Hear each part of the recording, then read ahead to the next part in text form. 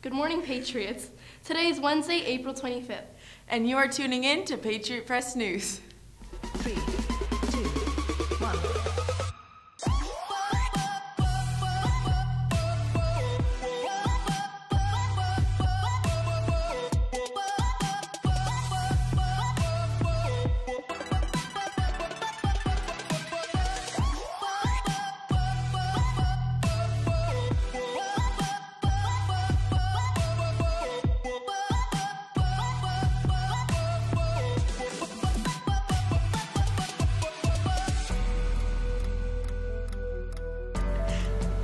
Hello, Heritage. I'm Jasmine Flores. And I'm Raina McRitchie. And here's this morning's announcements.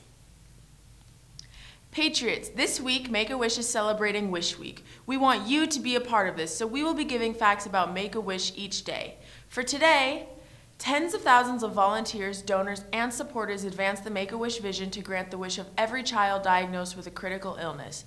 In the United States and its territories, on average, a wish is granted every 34 minutes. How awesome! We can't wait to share another with you tomorrow.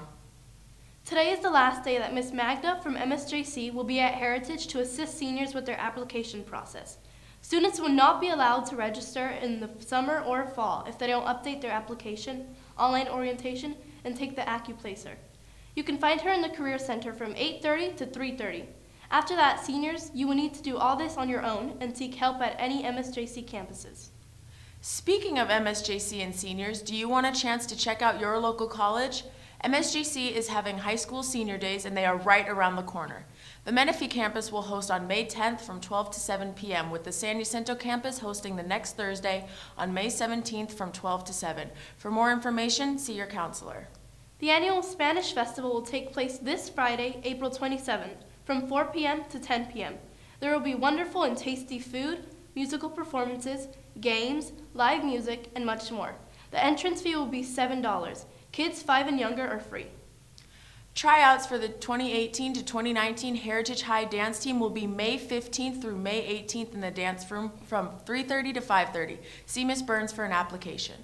Good luck to softball and baseball today.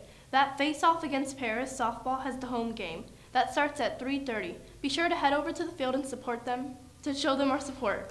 Patriots, that's our announcements for today. Have a great day and we will see you tomorrow.